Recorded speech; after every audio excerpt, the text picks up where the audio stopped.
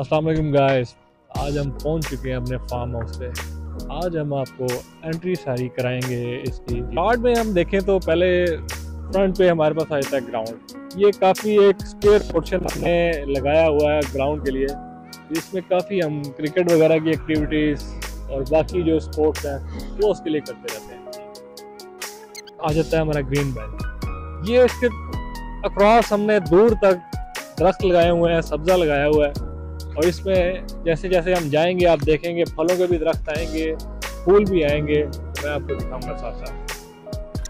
आप देख सकते हैं, ये खजूर के दरख्त आ जाते हैं। ये आप देख सकते हैं, ये इस्लामी लिहाज से भी इनकी बड़ी अहमियत है और खजूर एक ऐसी चीज़ है, इसमें हज़ार से ज़्यादा अशिया हैं न्यूट्रेंट्स हैं, जो हमारे लिए फ़ायदा मंद है। अभी इनमें हमने खजूर की काफ़ी वैरायटी लगाई हुई है।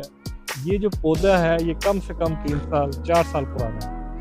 क्योंकि आपको पता है खजूर की जो ग्रोथ है वो जितना बढ़ता है वो आहिस्ता आहिस्ता बढ़ता है। ए, आप देख सकते हैं इसमें आला मैार के हमने खजूर के दरख्त जो है काफ़ी आगे तक हमने इसमें लगाए हुए हैं। जैसे जैसे इस खजूरों के दरमियान ही अनार की फ़ार्मिंग शुरू हो जाती है आगे। डिफरेंट वैराइटीज़ के अनार इसमें शामिल हैं और इनमें सफ़ेद अनार और लाल अनार रेड अनार और जो वाइट होते हैं दाने वाले वो इसमें शामिल है। अनार की प्लांटेशन के बारे में देखा जाए तो ये हमारी एक पूरी लेन हमने स्पेशल वक्त की हुई है अनार के लिए। अनार की वैरायटी अगर आप देखेंगे तो इसमें अलीपुर का ये अनार है, ये वाइट दाने वाला है, इसमें वाइट दाने वाला अनार है। तो ये देखेंगे अभी स्प्रिंग का मौसम है मौसम बहार है तो इसके फूल माशाल्लाह निकले हैं और काफ़ी अच्छा दाना इस पर लगा हुआ है। और इस दफ़ा उम्मीद की जा सकती है, ये काफ़ी अच्छा हमें एक फल देगा। ये देखें आप आगे तक ये सारा हमने दरख्त इसमें भरा हुआ है अनार।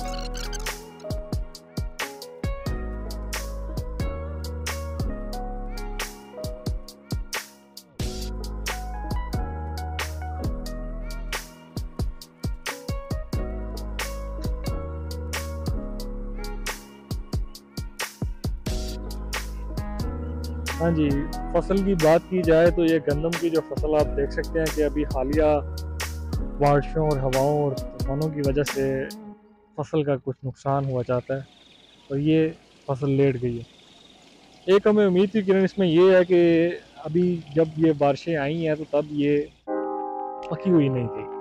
तो जब ये पकी हुई नहीं थी तो ये अभी सबस थी, अभी इसमें फल कच्चा था, ये तब लेट गई थी। तो अब हम दुआ कर सकते हैं अल्लाह ताला से और ये उम्मीद रख सकते हैं कि जब तक ये में पकेगी तब तक ये बड़ी सीधी हो चुकी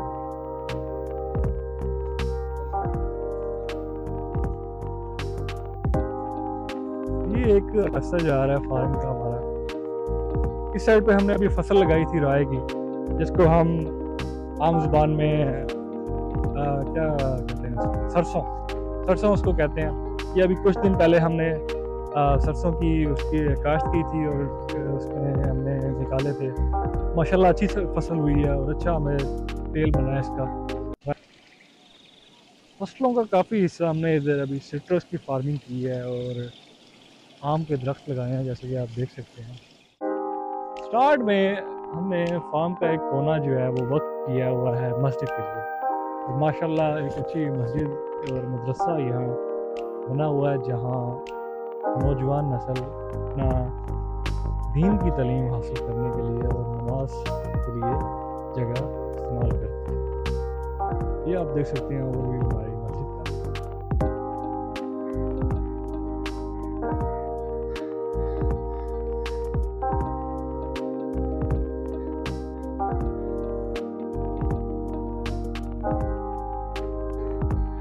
काफ़ी सारी वराइटीज़ हैं इसमें। आप सिट्रस में आप ले लें माल्टा, किन्नू मौसमी मीठा फ्लूटर सब ग्रेप फ्रूट सब वराइटीज़ इधर के लगे हुए हैं। एक कितार लगी हुई है माल्टे की, एक मौसमी की, एक मीठे की।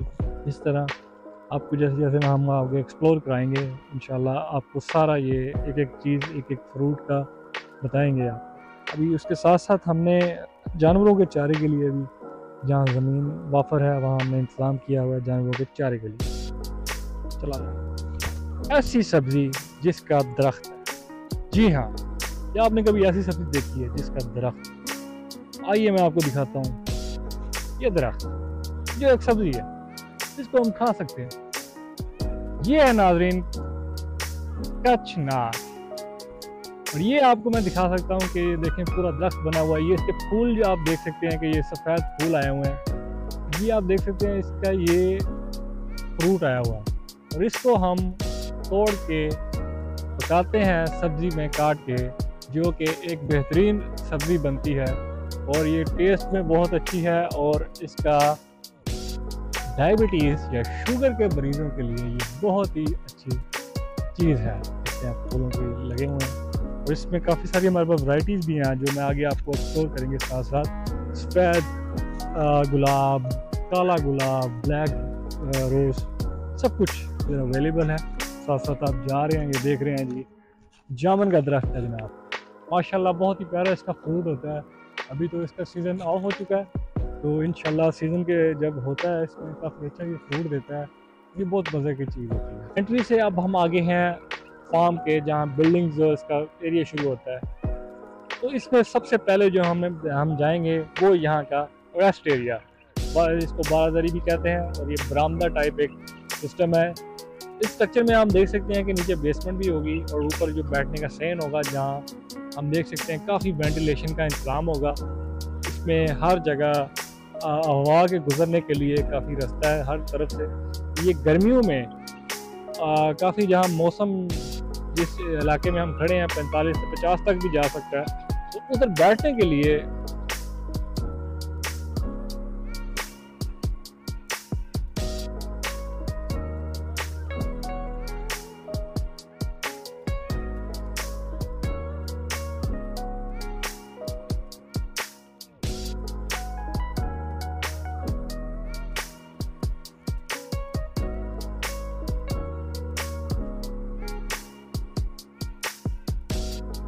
ये हमने कवर किया स्टार्ट का हिस्सा।